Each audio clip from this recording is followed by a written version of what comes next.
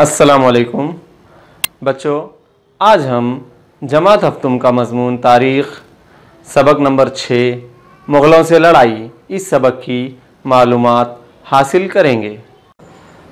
अब तक शिवाजी महाराज ने आदिल शाही से मुकाबला किया, लेकिन स्वराज की तोसी के दौरान मुग़लों से लड़ाई यकीनी बात थी और साथ ही साथ जनूबी भारत की मुहिम और रस्म ताजपोशी करना भी ज़रूरी था। तो शिवाजी महाराज ने इन तमाम मुहिमों को संभाला और साथ ही साथ उन्होंने मुग़लों से अपने किले और तमाम इलाके वापस फतेह कर लिए।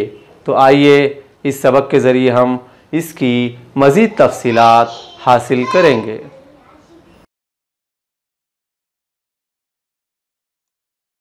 शाइस्ता खान का हमला, फरवरी 16 1660 ईस्वी में शाइस्ता खान अहमदनगर से निकलकर पूना पहुँचे। उन्होंने अपनी फौज के ज़रिए आसपास के इलाकों को ज़बरदस्त नुकसान पहुँचाया। चाकन के किले का मुहासरा कर लिया। चाकन के किले के किलेदार फिरंगोजी नरसाला ने उनकी फौज की ज़बरदस्त मजाहमत की, लेकिन आखिरकार शाइस्ता खान ने चाकत चाकन का किला फतेह कर लिया।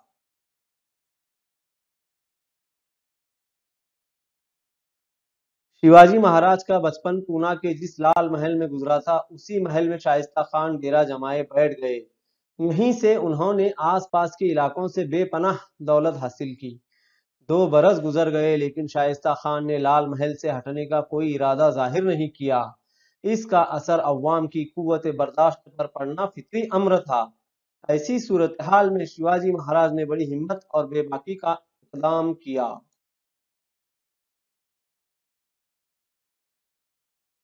शिवाजी महाराज ने अपनी कयादत में पोशीदा तौर पर लाल महल पर छापा मारने का मंसूबा तैयार किया। इस मंसूबे के मुताबिक 5 अप्रैल सन सोलह तिरसठ ईस्वी को शिवाजी महाराज ने रात के वक्त अपने चंद मुंतखब सिपाहियों के साथ लाल महल पर छापा मारा। इस हमले में शाइस्ता खान की उंगलियाँ कट गईं, उनकी बड़ी बेइज्जती हुई। उन्होंने पूना छोड़कर औरंगाबाद में कयाम किया। इस वाक्य की वजह से औरंगज़ेब शाइस्ता खान से नाराज़ हो गए। उन्होंने शाइस्ता खान को बंगाल के सूबे की तरफ़ रवाना कर दिया। शाइस्ता खान पर इस कामयाब हमले का अवाम पर भी अच्छा असर पड़ा। शिवाजी महाराज के कारनामों पर अवाम का भरोसा और ज़्यादा मुस्तहकम और मज़बूत हो गया।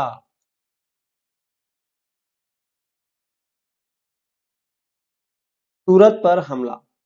शाइस्ता खान ने तीन वर्षों में स्वराज का बहुत सा इलाका तबाह कर दिया। इस नुकसान की तलाफी करना ज़रूरी था।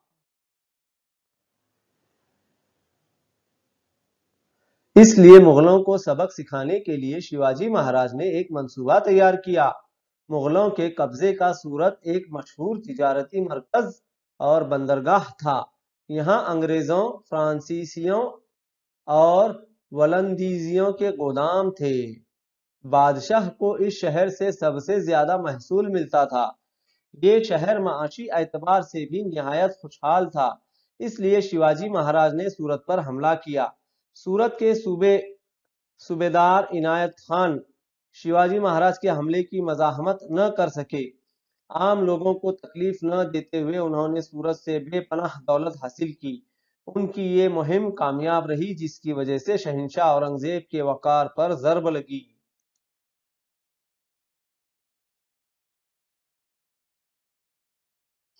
जयसिंह का हमला।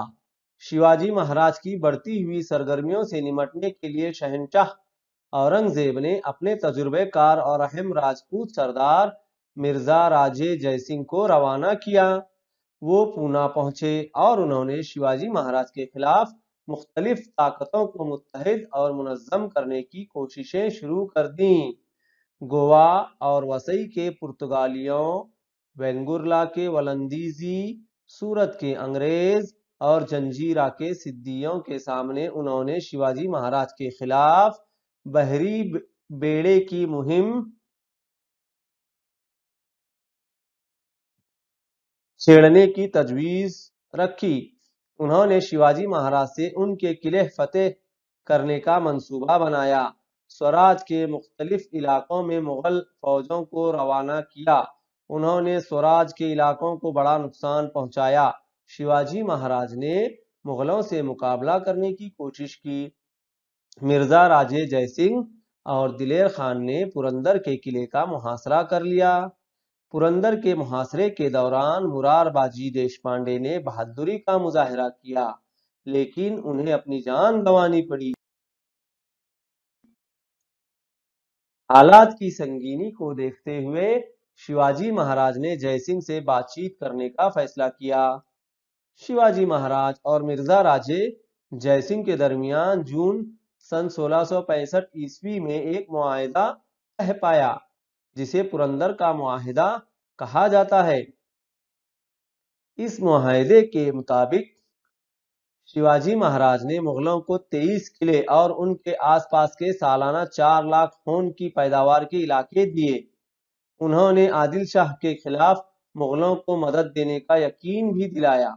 शहनशाह औरंगज़ेब ने इस मुआहिदे को मंजूरी दे दी। आगरा से रिहाई। पुरंदर के मुआहिदे के बाद जयसिंह ने आदिल शाही के खिलाफ मुहिम शुरू की। शिवाजी महाराज ने उनकी मदद की, लेकिन ये मुहिम कामयाब न हो सकी। ऐसे वक्त में जयसिंह और शहनशाह औरंगज़ेब ने शिवाजी महाराज को कुछ अरसे के लिए जुनूब की सियासत से दूर रखने की तदबीर सोची। इस ख्याल के तहत जयसिंह ने शिवाजी महाराज के सामने शहनशाह औरंगज़ेब से मुलाकात के लिए दहली जाने की तजवीज रखी। उन्होंने शिवाजी महाराज की हिफाजत की जमानत जमानत भी दी। तजवीज के मुताबिक शिवाजी महाराज आगरा के लिए निकले। उनके साथ राजपुत्र संभाजी और चंद काबिल एतमाद जानिसार साथी भी थे। महाराज आगरा पहुँचे। लेकिन शाही दरबार में शिवाजी महाराज को वो इज़्ज़त नहीं मिली जिसकी वो उम्मीद कर रहे थे। उन्होंने अपने गुस्से का इजहार किया, जिसके बाद शहनशाह ने उन्हें नजरबंद कर दिया। शिवाजी महाराज ने शहनशाह के इस अमल से खौफ जदा न होते हुए नजरबंदी से नजात हासिल करने का मंसूबा बनाया। वो बड़ी चालाकी से आगरा से रिहाई हासिल करके कुछ दिनों बाद सलामती के साथ महाराष्ट्र पहुँच गए। आगरा से आते हुए उन्होंने संभाजी को मथुरा में ठहरा दिया। उन्हें खैर आफियत के साथ राजगढ़ पहुँचा दिया गया। स्वराज से शिवाजी महाराज की दूरी के जमाने में जीजा माता और शिवाजी महाराज के मुआवनीन ने हुकूमत के कामकाज को संभाला।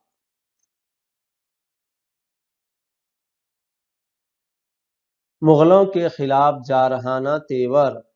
शिवाजी महाराज अगरचे मुगलों से लड़ाई को टालना चाहते थे, लेकिन पुरंदर के मुआहिदे में मुगलों को सौंपे गए किले और इलाके वापस लेना उनका मकसद था। इस मकसद के हसूल के लिए उन्होंने एक बड़ा और बेबाक मंसूबा बनाया। एक जानिब मुकम्मल तैयारी के साथ फौज भेजकर किले वापस लेना और दूसरी जानब दक्कन में मुगलों के मातहत इलाकों पर हमले करके उन्हें कमज़ोर करना। इस मंसूबे के मुताबिक उन्होंने मुगलों के अहमदनगर और जुन्नर के इलाकों पर हमले किए। उन्होंने एक के बाद एक सिंहगढ़, पुरंदर, लोहगढ़, माहोली, करनाला और रोहिड़ा के किले दोबारा हासिल कर लिए।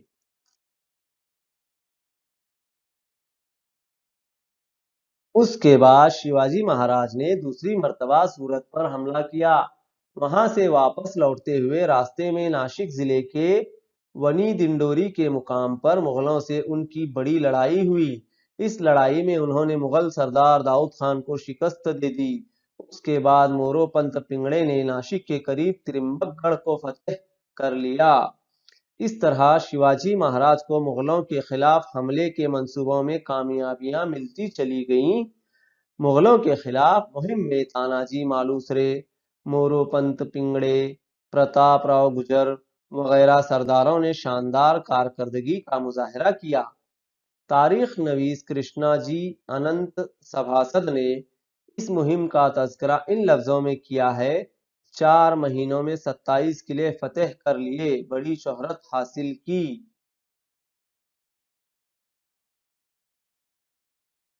छत्रपति शिवाजी महाराज की ताजपोशी। मुसलसिल तीस बरसों की मेहनत और कोशिशों से मराठों का स्वराज का ख्वाब शर्मिंदे ताबीर हुआ था। लेकिन शिवाजी महाराज को इस बात का एहसास हुआ कि स्वराज के आजादाना और मुख्तार कुल वजूद को नुमाया करने के लिए स्वराज की अवामी मकबूलियत और खुद मुख्तारी ज़रूरी है। इस मकसद के तहत शिवाजी महाराज ने रायगढ़ में 6 जून सन अठारह, सोलह ईस्वी को पंडित गागा भट्ट के हाथों अपनी ताजपोशी की रस्म अदा करवाई। रस्म ताजपोशी के बाद शिवाजी महाराज छत्रपति बन गए। अपने आला इकतदार की अलामत के तौर पर उन्होंने ताजपोशी के साल से एक नए दौर का आगाज़ करते हुए नया कैलेंडर शुरू किया। इस तरह वो एक नए सन के मस्जिद बन गए थे। ताजपोशी की यादगार के तौर पर उन्होंने सोने का होन और तांबे की शिवराई जैसे दो खास सिक्के ढाले। इन सिक्कों पर श्री राजा शिव छत्रपति कुनिंदा था। इसके बाद सरकारी कागजात पर क्षत्रिय कुलावत श्री राजा शिव छत्रपति लिखा जाने लगा। ताजपोशी के बाद उन्होंने फारसी अल्फाज के मुतबादिल संस्कृत अल्फाज पर मबनी एक लुगत तैयार करवाई। इसी को राज्य व्यवहार कोश सरकारी कामकाज की लुगत कहा जाता है।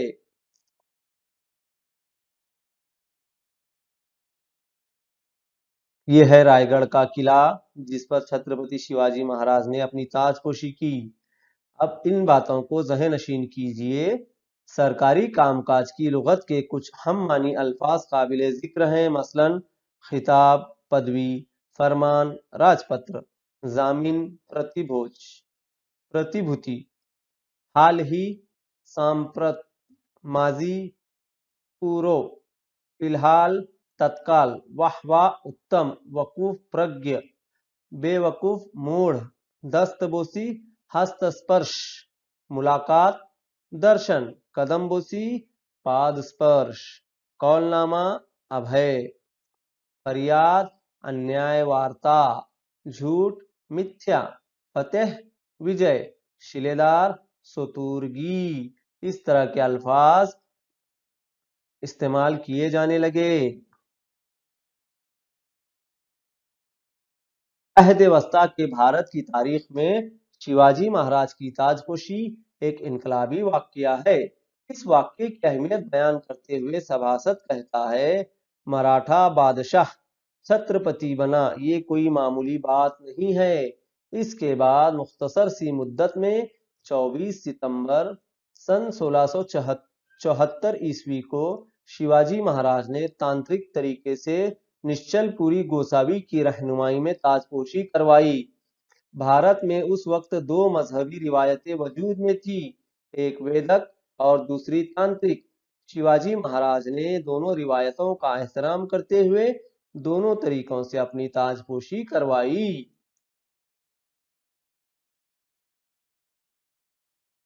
क्या आप जानते हैं, शिवाजी महाराज की ताजपोशी के वक्त संभाजी की उम्र सत्रह साल थी।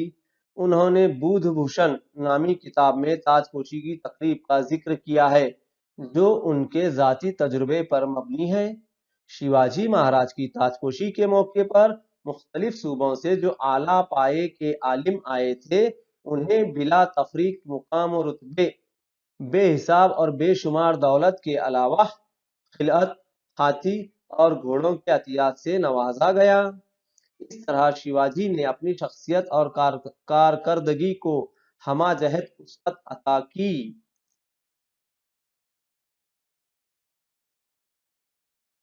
जनूबी भारत की मुहिम ताजपोशी के तकरीबन तीन बरस बाद अक्टूबर सन 1677 ईस्वी में शिवाजी महाराज ने जुनूबी भारत की मुहिम की कमान संभाली।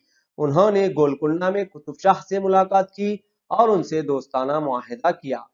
उसके बाद उन्होंने कर्नाटक में बेंगलुरु और होसकोट मौजूदा तमिलनाडु में जिंजी और वेल्लूर के किलों के अलावा आदिल शाही के बाद दूसरे इलाके फतेह कर लिए। उनकी फौज ने इन इलाकों के अवाम को कोई तकलीफ़ नहीं दी।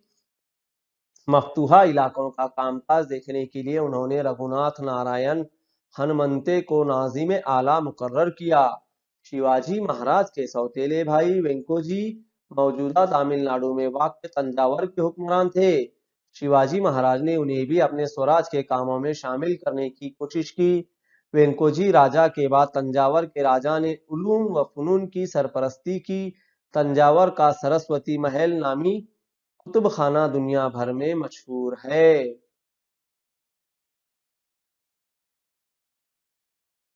जनूबी भारत की मुहिम के दौरान तमिलनाडु के जिंजी किले को फतेह करके इसे स्वराज में शामिल करना आने वाले वक्तों में शिवाजी महाराज का एक अहम फैसला साबित हुआ।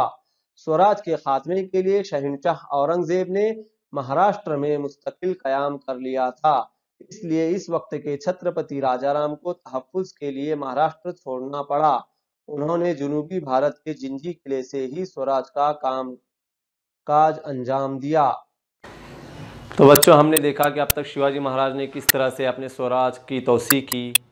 सन तीन अप्रैल 1680 को जनूबी भारत की कामयाब फतेह के बाद उनका इंतकाल हो गया। उनके इंतकाल के साथ ही शिवाजी महाराज के एक शानदार अहद का सूरज गुरूब हो गया। बच्चों, सबक के आखिर में जो मश्क दी गई है, उस मश्क को अच्छी तरह से समझकर हल कीजिए और अपनी बयाजों में तहरीर कर लीजिए।